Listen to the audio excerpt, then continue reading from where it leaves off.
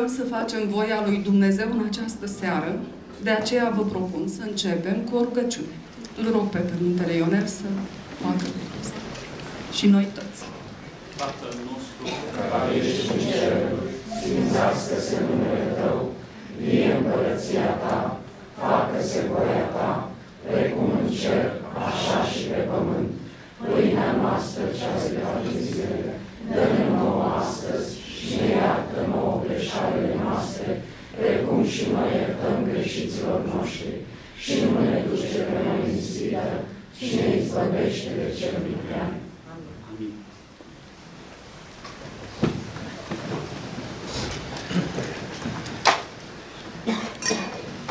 Numele meu este Elena Buhaiu și sunt președintele Asociației Nicolae de Nil Dorobanțu. Mulțumim Bibliotecii Radu Rosedionești, care găzduiește evenimentul, primăriei și Consiliului Local, care ne, găz- care ne oferă această găzduire în condiții foarte bune, logistica necesară, dar le mulțumim și oamenilor care jertfesc din timpul lor pentru a face posibil acest eveniment.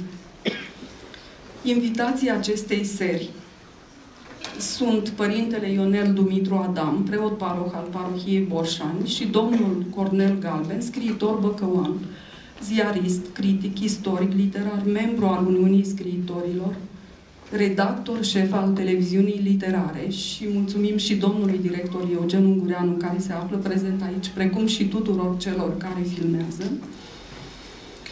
Uh, și veți afla mai multe despre domnul Galben atunci când îl vom invita să vorbească. Uh, mul- Vă propunem următoarea desfășurare a evenimentului. Vom face o scurtă prezentare, eu voi face o scurtă prezentare a Asociației Nil Dorobanțu, care a inițiat acest demers.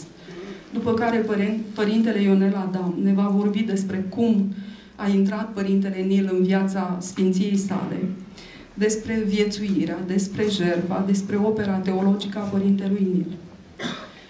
Domnul Cornel Galben a fost sedus de personalitatea Părintelui Nil și a publicat în Meridianul Cultural Românesc numărul 3 un articol uh, cu titlul Nil, uh, monacul iubit de Hristos, uh, articol pe care l-am invitat să-l prezinte împreună cu alte lucruri pe care vrea să ni le spună la ieșire uh, veți putea vedea uh, seria de cărți ale Părintelui Nil Dorobanțu, veți putea să le uh, și cumpărați dacă vreți lucrul acesta. Nu sunt din toate suficiente, dar din unele din ele sunt suficiente exemplare.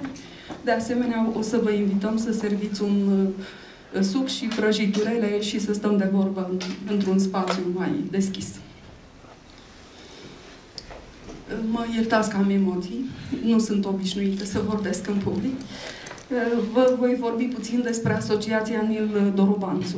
Este înființată în martie 2015, deși luni de zile înainte, poate spre un an de zile, ne-am tot întâlnit și ne-am tot întrebat cum să reușim acest demers. Este o organizație neguvernamentală, fondată de cinci membri, între membrii fondatori se numără și nepoata directă a părintelui, după frate, nepoata după frate a părintelui Nil Dorobanțu, doamna Marina Gabriela Bălășoiu. Dumnezeu n-a putut fi în seara aceasta aici, dar ne transmite gândurile ei bune și este cu inima alături de noi. Este președintele de onoare al asociației. Ne-a adunat Părintele Nil din multe zări, din București, din Zemeș, din Brașov, din Onești. Este o organizație laică, dar uh, membrii ei fondatori, precum și toți cei care sunt alături de ea, sunt creștini ortodoxi.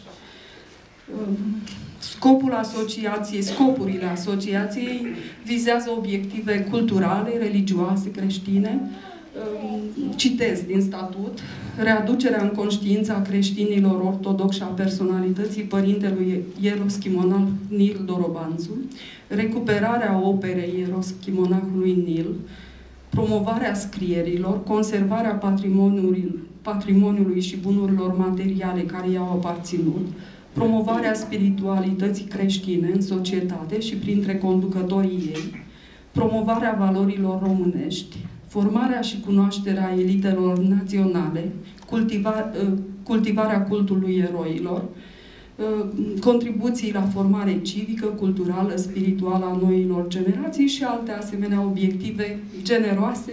Dacă ne-or sta în putere, o să încercăm să le realizăm. Aș mai spune că pentru a ne atinge obiectivele, noi, asociația, am colaborat și colaborăm cu persoane uh, în scopuri comune pe care le avem și cărora le mulțumim. În primul rând, mă refer la Părintele Ionel Adam, care aleargă de mulți ani pe urmele Părintelui pentru a-i afla viața, pentru a culege mărturiile celor care l-au cunoscut, pentru a aduna scrieri, aflate la nenumărate persoane sau pentru a bate la porțile unor instituții și a afla de acolo, do- a, a obține documente și date certe. Mulțumim editurii Babel, Bacău, care a realizat cărțile din seria pe care o aveți expusă pe măsuță ă, și care a avut răbdare cu noi, luând-o noi așa de la început. Ă, Mulțumim voluntarilor care culeg, tehnoredactează, adună mărturii, uh, distribuie prin țară cărțile, uh, aduc ecourile înapoi. Uh, știu că nu o să fie de acord, dar îi mulțumesc lui Marius Oprea și Adina și celor patru copii ai lor, pentru că ne găzduiesc sediul asociației și pentru că este cel mai harnic privind realizarea și distribuirea cărților Părintelui Nic. Mie personal, mi se pare fascinantă personalitatea părintelui Nil. A excelat atât în uh, domeniul civil, fiind o persoană cultă, uh, cunoscând multe limbi, cu o educație bună, uh, o personalitate deosebită, dar în momentul când l-a aflat pe Hristos, le-a dat pe toate și s-a mutat în planul vieții creștine, cu toată viața lui, cu toate bagajele lui și a trăit așa cum a scris, curat, jertfelnic, încât eu îl cred pe Părintele Nil. Poate vor fi unii din cei care află de Părintele sau lecturează și nu vor face acest lucru. Nu e problemă. Eu una mă simt onorată să fiu în asociația care, care luptă pentru a-l readuce în prezent. În încheiere o să vă mai rog un lucru. Dacă veți putea, în drumurile dumneavoastră și veți întâlni persoane care îl cunosc, care dețin obiecte, care au un interes legat de Părintele Nil, să le spuneți că există o asociație, să încerce să punem la oaltă tot ceea ce putem găsi despre Părintele Nil. Acum îl rog pe Părintele Ionel, așa cum am spus, este slujitor la parohia Borșani, care este expert în Părintele Nil, expert de albinelea, să ne facă să-L îndrăgim așa cum Sfinția sa o face. Doamne ajută! Mă bucur că ați ales să fiți în seara aceasta aici. Vreau să mulțumesc Asociației pentru invitație, pentru colaborarea pe care am avut-o împreună, pentru eforturile acestei asociații pentru că eu n-am avut logistica necesară pentru distribuție, pentru a dezgropa pe părintele, că părintele Nil între timp a avut loc o dezgropare și doresc să mulțumesc asociației pentru tot ce a făcut în legătură cu părintele. Am să vă propun întâi câteva gânduri cum l-am cunoscut eu pe părintele Nil. În 1990, când m-am căsătorit, în casa preotesei, în casa soției mele, am văzut o poză. Era o poză cu un părinte, nu știam dacă este monah sau mirean, pentru că era numai bustul părintelui, dar poza respectivă mi-a atras atenția de prima oară. Eu nu prea mergeam la biserică în vremea aceea, pentru că mama fiind învățătoare, tatăl lucra în cultură, teama de regimul comunist, prezența mea pe la înviere sau pe la biserică, în copii de cadre didactice, părinții aveau probleme. Dar, prin căsătoria cu soția mea, am găsit lumina lui Hristos și calea cea dreaptă spre mântuire. Am întrebat atunci pe soția mea cine este părintele din poză. Mi-a zis că este părintele Nil Torobanțu. În casa familiei preotesei, fiind adjudul un nod de legătură, veneau foarte mulți părinți care găseau în casa mamei mele, a mamei preotesei, mama mea, găseau mângâiere, găseau un pat să se odihnească în drumurile lor sau un plit de mâncare. Și unul din părinți mi-a spus câteva cuvinte despre Părintele Nil. Că a fost un om foarte cult, că a fost un monac desăvârșit, că a fost un mare nebun pentru Hristos, un mărturisitor în, în timpul regimului comunist. Și cam atât. Anii au trecut, eu am început să mă pregătesc pentru teologie și între timp m-am preoțit, iar una din persoanele care veneau în casa mamei mele, înainte de a muri, m-a chemat insistent la patul dumnealui.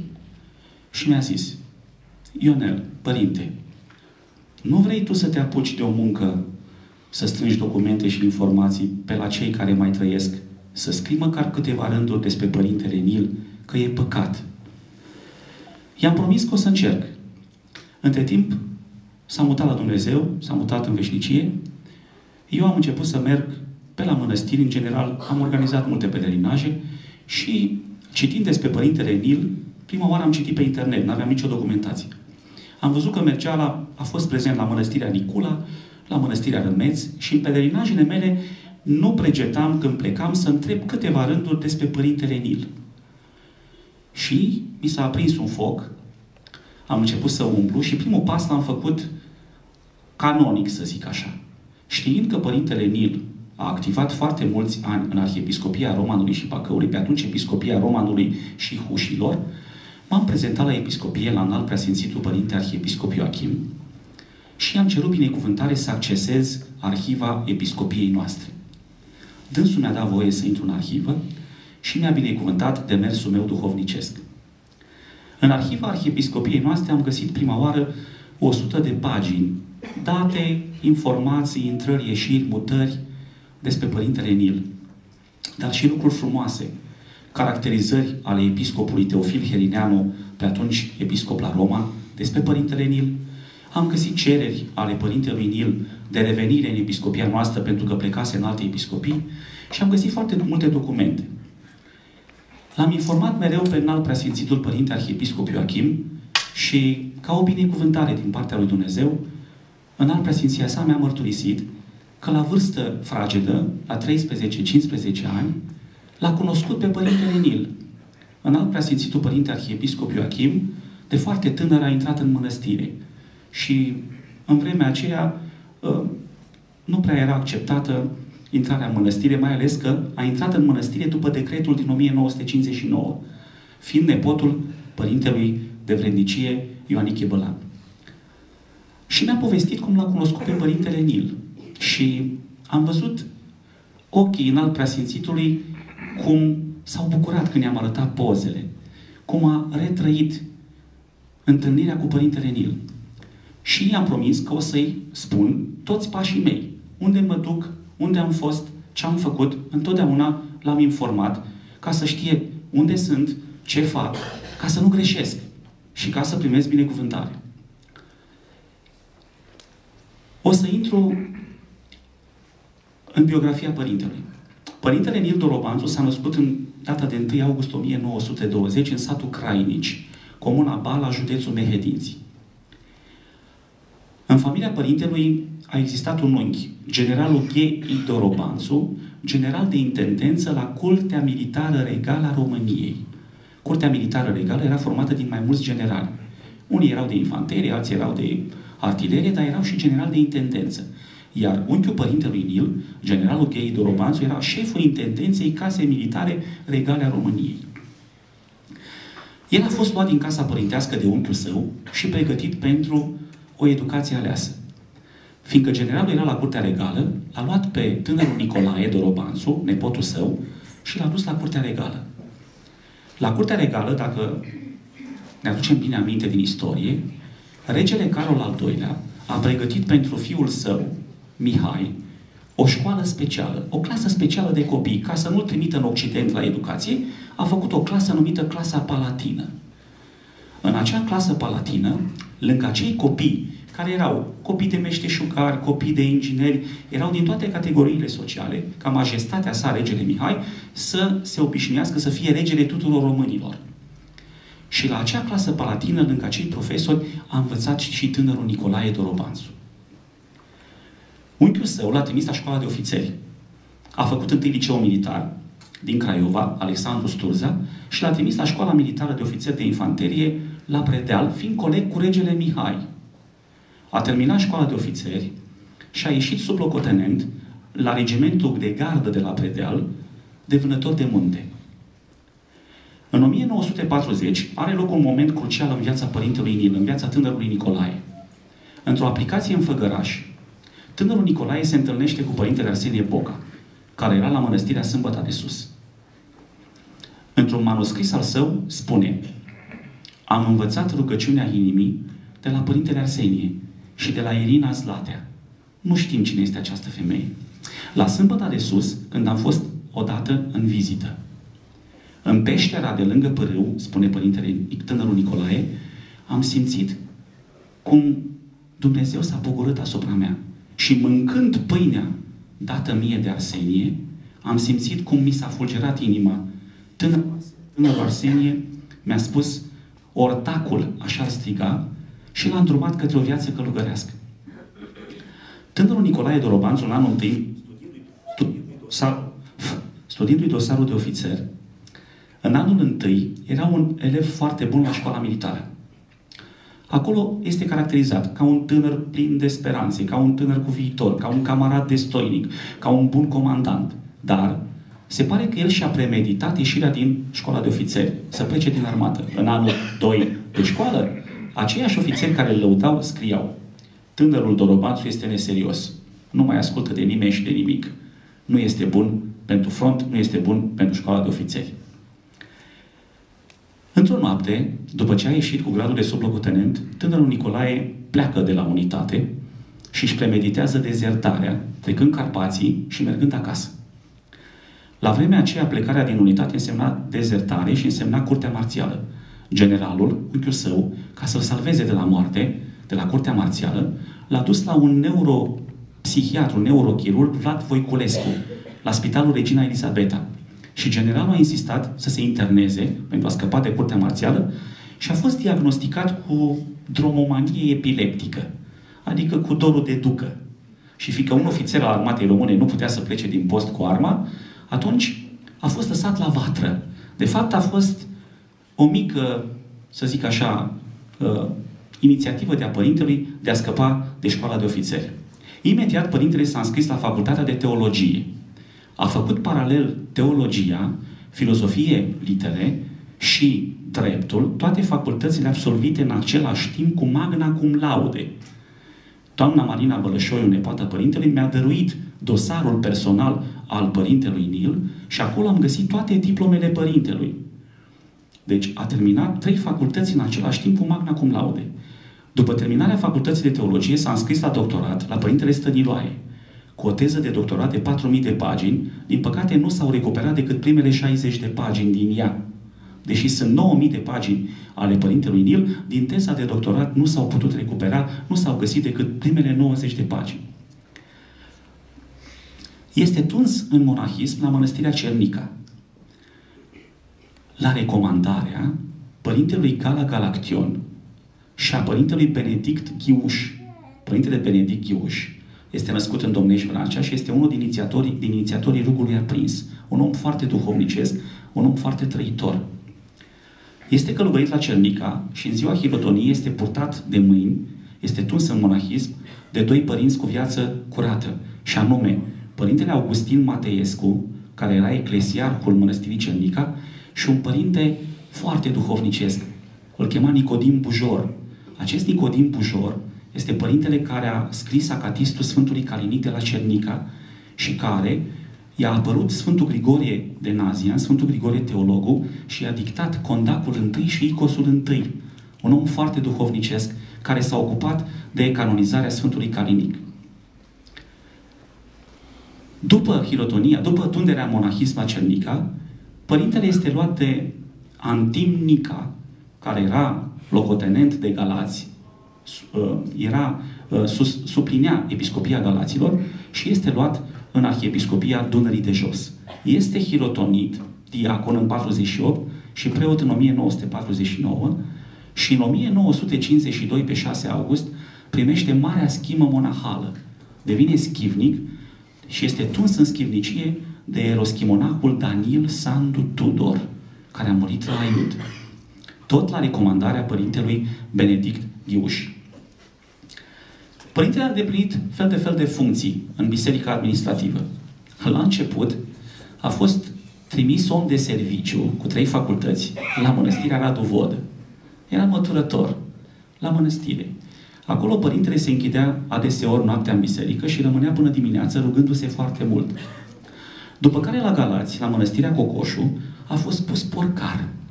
Era la porci.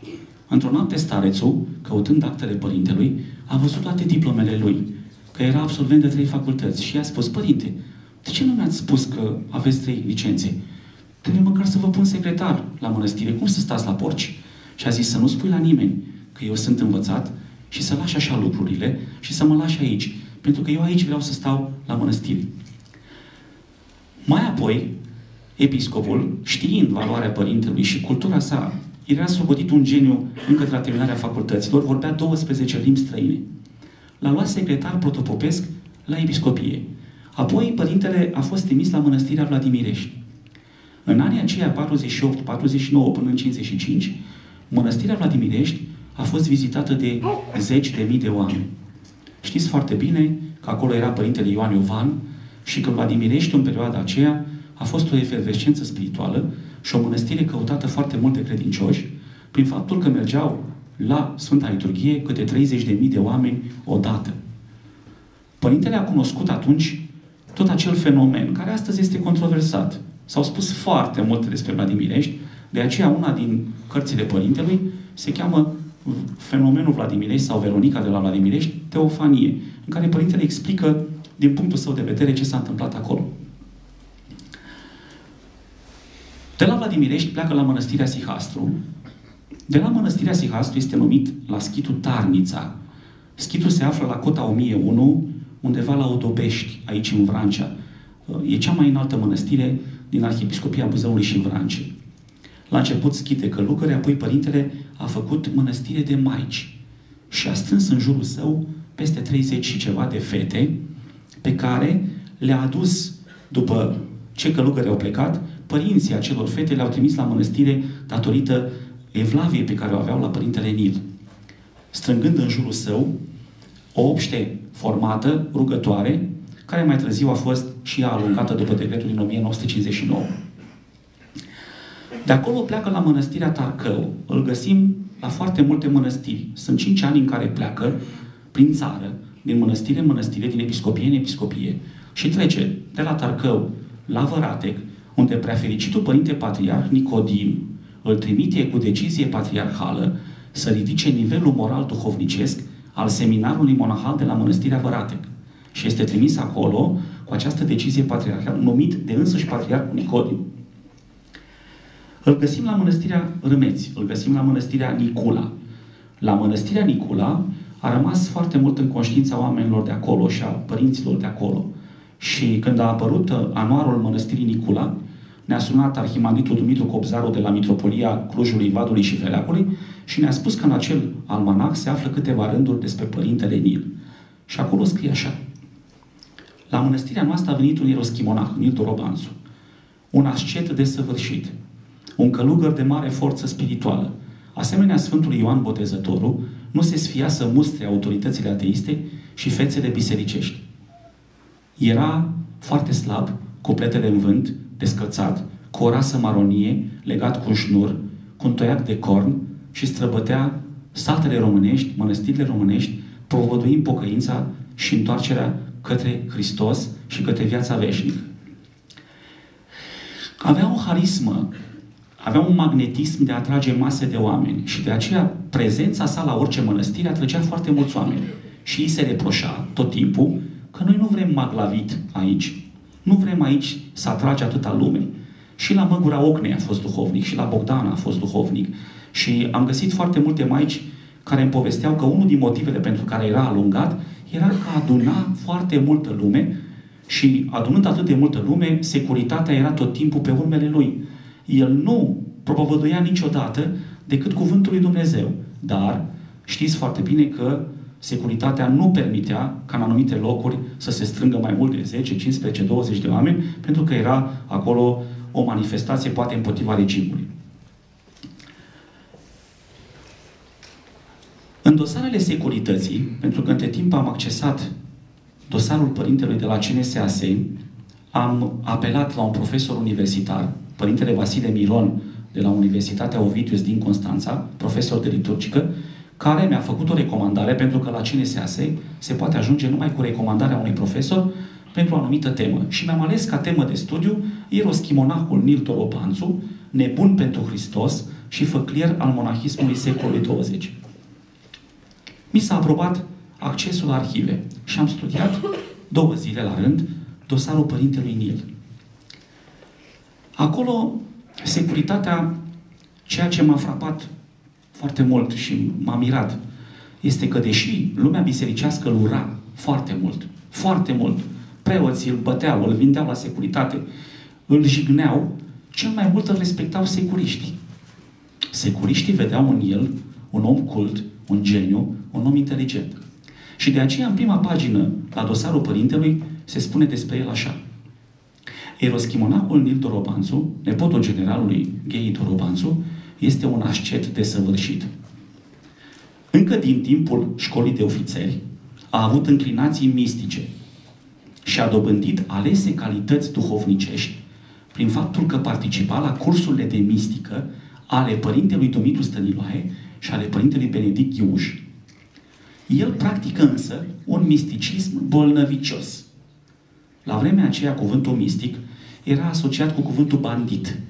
Pentru că, deși noi în teologie avem o materie numită ascetică și mistică, ateii, oamenii acelui regim, socoteau periculoși pe cei mistici, pe cei care trăiau ortodoxia la intensitatea ei maximă. Și de aceea îi numeau bandiți mistici.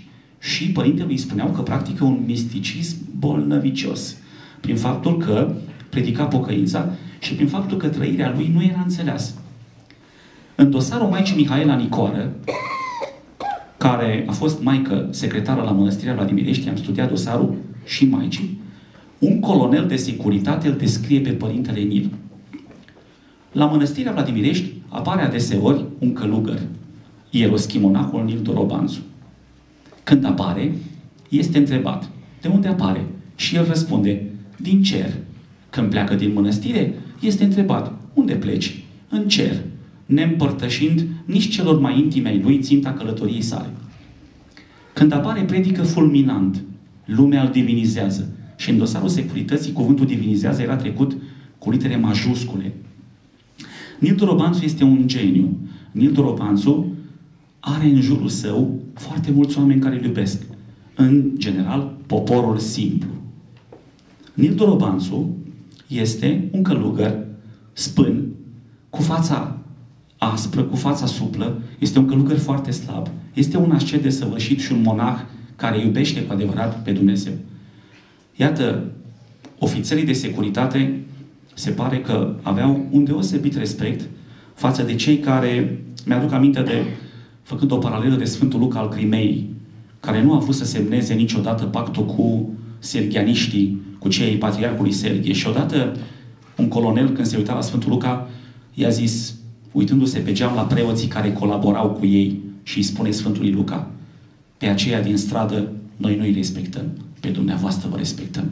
Deci se pare că ofițerii de securitate, așa cum erau ei seduși de nou regim, respectau foarte mulți pe cei care rămâneau verticali în fața lor și care, într-adevăr, își păstrau convingerile.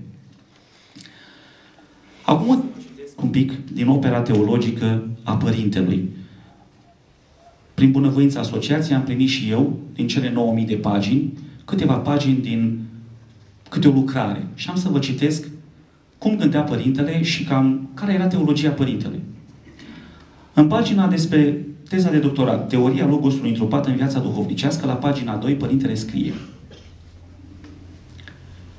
Mi-e frică parcă să vorbesc eu despre Hristos când El însuși personal, ca subiect, la persoana întâi, ne grăiește cu putere în acest veac apocaliptic.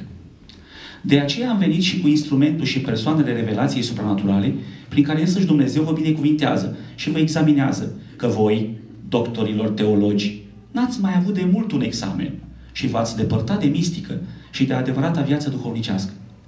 Iar dacă știți totul în teologie, în mod epistemologic, teoretic, totuși n-ați experimentat chiar știința voastră și nimănuia nu v-a vorbit până acum azi Dumnezeu. Cantitativ ați acumulat toată știința obiectivă, dar ce știință mai mare voiți decât însuși obiectul științific să se transforme în subiect, viu și lucrător, și să vă vorbească el însuși despre el? Că doar în fond aceasta e adevărata teologie. Ci voi, teologilor, doar jonglați cu teologia și scintați pe Dumnezeu analizând și interpretând cu scolastică și cu talmudism și cu canoane, încât ați ajuns chiar să negați teofania centrală a științei teologice și vorbesc de teofania vie și actuală. Au oare n-ați prigonit voi mai mult cu scrisul și cu fapta pe Petru de la Maglavit, pe Varmelonica de la Vladimirești? Nu vă închinați voi, doctorilor teologi, aceluiași Dumnezeu smerit, dar s-a mai schimbat Dumnezeu? Nu e oare infinit și neonic? Nu poate să vorbească, să se arate, să lucreze proniator și azi? Nu cumva cei care negați teofaniile ați ajuns proroci și Hristoși mincinoși? Nu cumva v-ați erijat în zei ca și Sanhedrinul care a condamnat chiar pe Dumnezeu cel viu la moarte? Iată prin cine vorbește Hristos. N-are nici clasele primare complete, nici Petru. Îmbrăcați-vă în toate, în toate sfintele ornate și veșminte și cercetați Duhurile și luați aminte la teofaniile lui Dumnezeu. În altă lucrare, care se cheamă Tâlcuit la canoane, el spune așa. Sfântul și Marele Sinod a hotărât ca de acum înainte nimeni, fie episcop, fie cleric sau monah, să nu se mai facă pe sine chivernisitor al bunurilor lumești. Iar călcând cele hotărâte, a întreprinde ceva de acum înainte să cadă sub pedeapsa Sfintei Biserici. Și spune el, iată că voi nu intrați într-o casă și nu faceți o slujbă fără bani și fără colectare și încă administrați bunuri lumești, urând pe Hristos cel prea bun și prigonind toată darea cea bună și tot darul de săvârșit din ceruri. Voi sunteți pedepsiți de legi pentru comerț și tot faceți pe ascuns, deși ar trebui să negutătoriți numai mina, talentul și darul pentru a câștiga comoara împărăției celor și mărgăritarul cel de bun preț. Dar nici nu mai, mai aveți voie să îngrijiți de orfane și de văduve. În schimb, îi exploatați mâncându-le banii și rupând de pe vii și de pe morți. Dar voi nici măcar dezlegarea, comunicarea și toate celelalte taine nu le dați celor ce mai au deosebită nevoie, ci doar celor îngăduiți de atei, care la rândul lor nu vin în biserici. Pe când cei din temnițe și creștinii ortodoxi de peste tot persecutați n-au asistență religioasă, dar încă nici măcar voi nu vă îndulciți de împărtășirea cu Dumnezeu, deși aveți pe Hristos și biserica pe mâna voastră. Voi nu faceți nimic pentru frica de Dumnezeu, ci pentru ochii lumii și pentru opinia publică. Dar ce mai stați atunci în Sfânta Biserică, când chiar din biserici lucrați și luptați pentru cele deșarte și vă amestecați în cele lumești? Care vă este disciplina voastră oare? Și dacă nu aveți atunci, de ce o cereți altora mai mult ca oricând? Purtarea voastră lasă mult de dorit în epoca aceasta, când vă, ocupă de, când vă ocupați de cele pământești și de bunuri străine. E cea mai urâtă formă de laicizare și cea mai incompatibilă îndeletnicire pentru voi care dețineți demnități sacerdotale, încât nu e vorba de un serviciu public, nici de slujirea obștei creștine, ci e vorba de afacerile voastre personale aducătoare de câștig urât și de colectiv prin mijloace necinstite.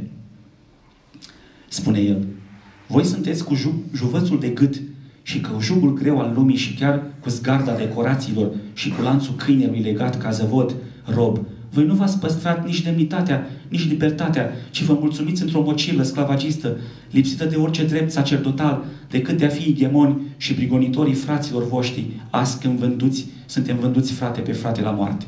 Lupul din fabula lui La Fontaine, liber, nu răvnea grăsimea câinelui cu rozătura zgârzii la gât și cu inimă de slugoi, ci prefera să fie flămând, prigonit, dar liber și demn. Voi ați depășit fabula de vreme ce sunteți chiar lupi îmbrăcați în piei de oi și fur răpitori în loc de buni păstori. Vai vouă, voi călcați toate canoanele în picioare.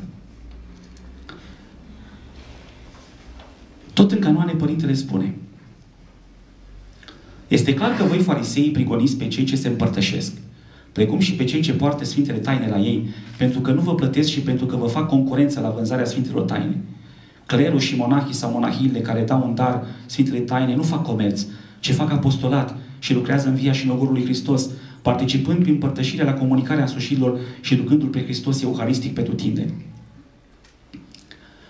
Voi îl vindeți pe Hristos. Faceți rău în fața Domnului Dumnezeu, cum nu s-a pomenit vreodată. Fapta aceasta voastră incalificabilă și din cauza voastră se culește numele Lui Dumnezeu între neamuri. Dar tot din această cauză se va ridica jertfa cea necurmată și va înceta și va fi săvârșită precum și Hristos a strigat de pe cruce săvârșitul sa. Iată unde duce filorghisia voastră. Și măcar de-ar fi valută forte și aur sau argint, dar sunt bonuri schimbabile și supuse deflației și inflației vremelnic până ce nu va mai fi nevoie de bani, când toate se vor sfârși. Banul nu e bun economic, nici bine etic, nici măcar chipul cezarului păgân sau creștin, ci a devenit mobilul de vânzare al conștiințelor și al tainelor sacre. Banul e mamona și ispita pe care voi o preferați în locul Sfintelor Taine. Atât de mult se, ne desconsiderați voi încât cântăriți prețul celui neprețuit la 30 de arginți și chiar la bonuri peritoare. Vindeți pe cel prea bun pentru bonuri nebune, omenești, necomestibile și fără preț. Voi muriți în farmacia altarelor cu penicilina euharistică sau cu hristomicina, cum o numea Ioan Iovan, lângă voi și tot buboși și netrebni sunteți. Muriți de sete lângă izvorul euharistic și vindeți Euharistia fără nicio mustrare de conștiință. Și încă nici înțelepciune n-aveți ca să sfințiți mai multe elemente euharistice, să slujiți în fiecare zi și să vă împărtășiți și să vă împărtășiți și zilnic, vai vouă. Iată în ce stadiu ați ajuns, în ce situație netrebnică. Iubiți mai mult lăturile banilor în locul mărgăritarului Hristos, că mai tem sunt cei mai simpli creștini care vin însetați după Sfintele Taine, ca voi care sunteți de tot împătimiți după bani și după cele trecătoare. Într-o altă carte, Patericu, Părintele a scris foarte multe cărți. El, de fapt, a fost un apologet. Din ce am înțeles eu, fiecare carte pe care a scris-o a fost ca un răspuns la atacurile care s-au adus împotriva sa. A scris 1500 de pagini de apologetică. A scris 2000 de pagini de știință.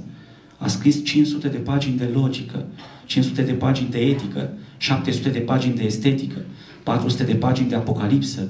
A scris foarte mult, foarte mult manuscrise care s-au descoperit printr-o minune. Și să vedeți, Părintele având școala de ofițeri, nu a lăsat într-un loc cartea completă.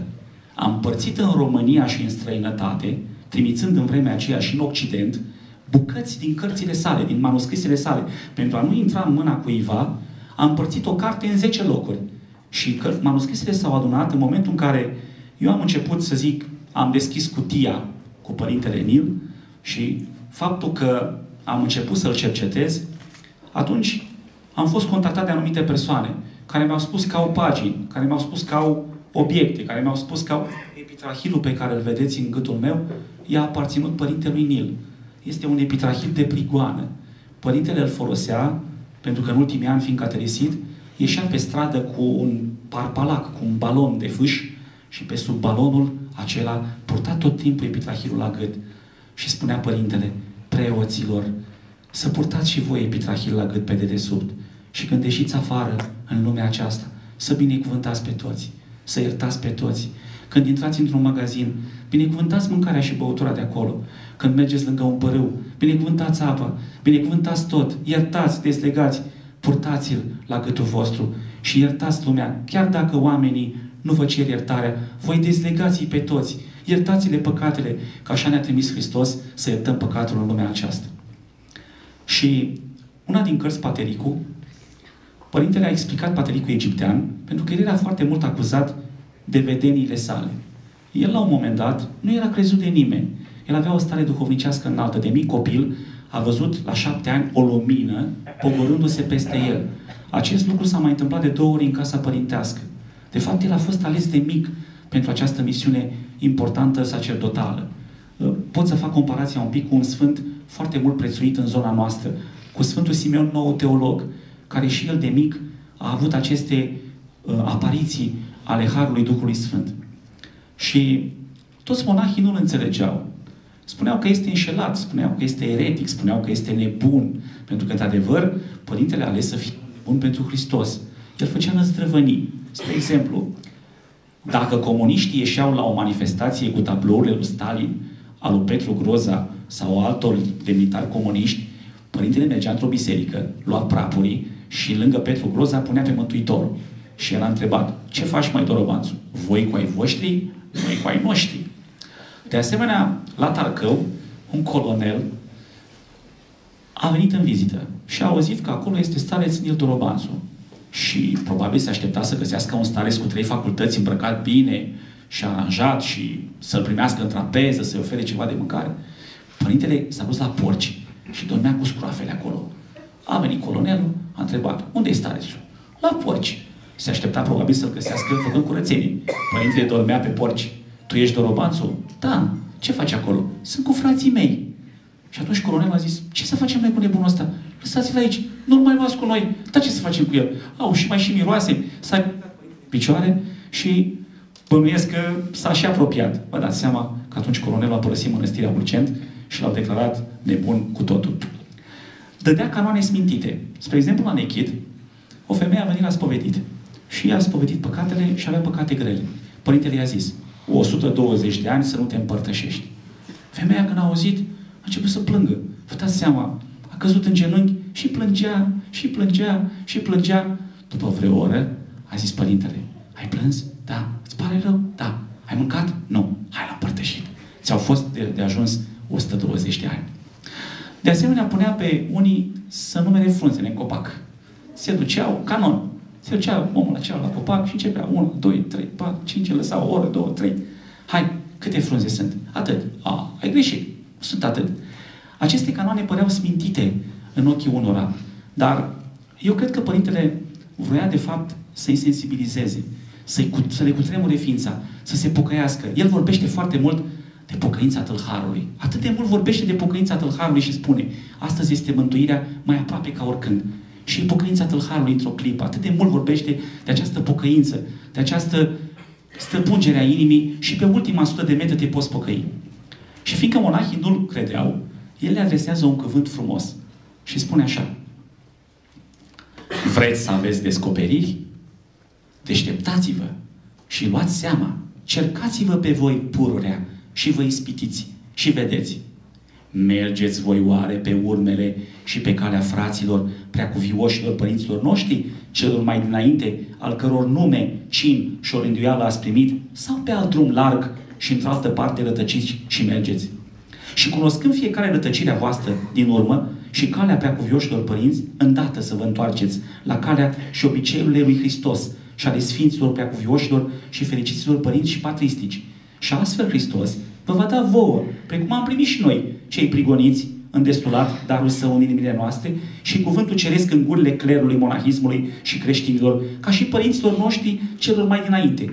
Și vă veți învăța și vă veți povățui și folosindu-vă unul pe altul și vă veți mântui toți. Și niciunul din voi nu va pieri. Iar de nu veți urma lui Hristos și Sfinților, să știți că în zadar ați primit și purtați haina monahală și clericală și creștinească și mai trăiți și prin mănăstiri și pustii, neavând teofanii, răbdând smerenie, iubire, în zadar vă e tăcerea, în zadar vă e pravila, citirea multă și canoanele, în care vă nădăjduiți și vă pare că aceea vă va mântui pe voi. În zadar vă e ruga, cea într-o multă vorbă și postul și înfrânarea voastră. Acestea nimic nu vă vor folosi, ci cu toate acestea în pieire veșnică veți merge, de nu veți urma Sfinților Părinți și obiceiilor și rânduielilor cu răbdare, smerenie și iubire.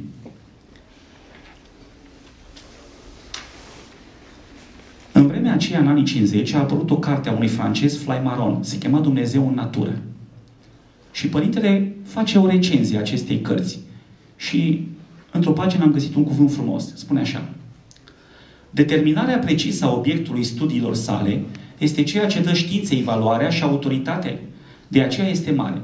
Dar cât de mare e Hristos cel neterminat și nedeterminat și infinit veșnic, fără început, care totuși este început alfa pentru noi și s-a întrupat. Titlurile științei o obținem la o, titlurile științei să, să nu se amestece în religie, să nu se depărteze de obiectele fundamentale, să nu rătăcească în domeniul imaginației și să nu impună argumente în afară de margini de respective obiectului creatural și mai ales nici de acum să nu se ridice chiar contra creatorului. Voi încetați a mai avea valoare științifică și pierdeți caracterul și rațiunea voastră de a fi din moment ce începeți a nega și totuși ziceți că faceți asta în numele științei, care știe tot. Știința voastră a pierdut propria calitate și nu mai merită numele de știință. Și precum ați dărâmat pe suverani, la fel a abdicat și știința voastră de petrol în mocir pocinelor materialiste. Voi perorați zadarnic și nu mai sunteți interpreții științei din moment ce lucrăm în afara ei. Voi aplicați astronomia și chiar astronautica, chimia, fizica, fiziologia, geodezia, anatomia, microfizica la niște probleme pe care nu puteți și nici nu vreți să le rezolvați. Trebuie să vă declinați competența voastră în materie de religie, că altfel deveniți caragioși. Voi care vă tot lăudați cu desfințarea exploatării și a sclavagismului, torturați științele tehnice și teoretice ca pe niște sărmani sclavi pentru a le face să mărturisească contra voinței lor și în mod fals lucruri la care știința nu s-a, găsit, nu s-a gândit vreodată și nici savanți drept și cinstiți. În loc de a fi închizitorii ai cuvântului, sunteți igemonii faptului și ai fenomenului, dar ceea ce țineți în mâini nu mai e știință și nici umbra ei, ci moartea oricărei științe. Voi înșelați și ne înșelați de vreme ce raționamentele și deducțiile voastre sunt nelegitime și ați compromis toată știința și ați pierdut cinstea publică prin virtualitatea amăgitoare sub standard înșelător de pace, progres. La Apocalipsă, părintele, fiindcă era acuzat în vremea aceea că are vedenii false, și el spune, explică fenomenul prin care el primea darul de la Dumnezeu, prin care avea teofaniile sale. Și în pagina 5 la Apocalipsă spune așa. Dumnezeu ne trimite și astăzi revelația supranaturală. Și anume, mecanismul mistic teofanic este astfel. Și le explică. Hristos vorbește îngerilor, iar îngerul vorbește către suflet, în timp ce trupul este ca mort în amorțirea levitației mistice. Când l-am văzut pe Dumnezeu, am căzut la picioarele lui ca mort. Apocalipsă 1 cu 17, spunea Sfântul Apostol și Evanghelist Ioan. Azi experimentăm această stare de teofanie și exact precum ne descrie Sfântul Ioan Teologul, cel răpit în Duhul în Duminica Ziua Domnului. Apocalipsa 1 cu 10. Vedenia te țintuiește nemișcat, cu ochii pironiți în fața vederii lui Hristos, iar mintea, în legătură cu inima și cu respirația, sub via acțiune a îngerului păzitor și a zbaterii sufletului, mișcă buzele vorbind cu glas omenesc cuvântul ceresc, adică Hristos, prin, prin puterea lui Dumnezeu. Personalitatea nu se desfințează, nu se contopește, nu se elimină, ci se face mai nobilă, mai înaltă, mai sublimă. Rațiunea, sensibilitatea însimțirii și voința, precum și simțurile trupești și cele sufletești, devin supraraționale, infinit superioare, mai vii, mai înflăcărate, precum fierul ruginit devine incandescent în foc. E cea mai elocventă dovadă că se poate raționa, voi, simți, buceta și fără trup, materie sau carne. Poate fi suflet fără a avea nevoie de corp. Poate fi nemurire fără nevoia morții. În sfârșit, poate fi Dumnezeu fără a avea nevoie de om. Se vede deci cât de caragioși și agramați sunt cei care neagă pe Hristos epistemologic și real și adevărat, e numai Hristos, El lucrează prin semne și minuni și azi, fiind același Dumnezeu în veci. În pagina de psihologie, are 400 de pagini de psihologie, la pagina 46 spune Dar unde țineți voi cunoștințele pe care le aveți în procese inductive? Dar unitatea inducției se interpătrunde dacă n-aveți capul pătruns?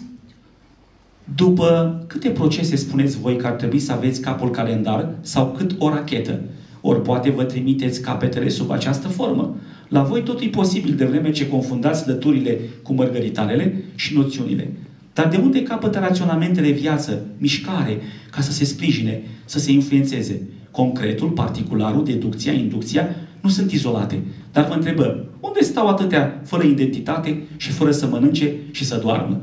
De ce nu admiteți și lumea cea nevăzută, divină și Sfânta Biserică triumfătoare? Dacă microbii, electronii, gravitonii, și judecata și raționamentele nu se văd, dar Hristos, care e logosul și rațiunea, totuși a binevoit a se întrupa. Și azi încă ne hrănește cu Euharistia, ni se revelează și ne vorbește, viu și lucrător. S-a întrupat deductiv și s-a înălțat inductiv și pe toate le umple ceva ce este necuprins. Ce bun este Dumnezeu! Dar dacă vă lăudați cu atâtea raționamente, cum denodați chiar de însă și rațiunea originară și de logica incipientă divină? înseamnă că nu aveți rațiune, ci precum spuneți, sunteți mici niște ființe iraționale în turmă ce miroase cu noi. Ce acțiune mai mare asupra naturii vreți decât a vântului și a apei?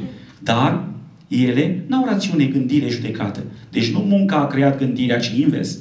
Sau dacă susțineți asta, de ce nu credeți în vântul Sfântului Duh, care suflă unde voiește și despre care vorbea Hristos lui Nicodim și care s-a revelat la Rosalie? Dar contemplarea vă e oare nu vă duce la teofania vieții cele veșnice? Iată că sunteți siliți să admiteți și contemplația teofanică și viața veșnică. Deși tratați știința voastră pe mort și vă bălăciți în întuneric, dar bagajul mental și îmbogățirea cu reprezentări și noțiuni, unde le ascundeți? Vedeți să nu fie vreun câștig ilicit și să nu sabotați ca bogații. Sau dacă sunteți sinceri în expresii, atunci de ce nu credeți în îmbogățirea în Hristos și în comori cerești? Sau de ce nu vreți să constatați că pofta naște păcatul și moartea?